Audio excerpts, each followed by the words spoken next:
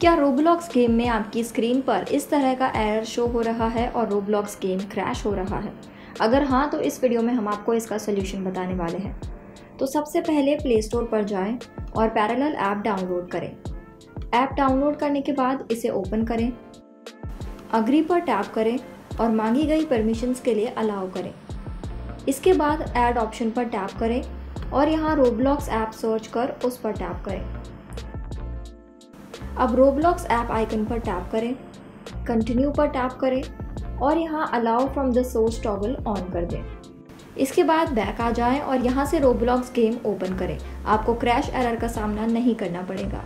उम्मीद है आपका रोब्लॉक्स क्रैश एरर फिक्स हो गया होगा। अगर वीडियो आपको हेल्पफुल लगा हो तो इसे लाइक शेयर और हमारे चैनल को सब्सक्राइब करना ना भूलें।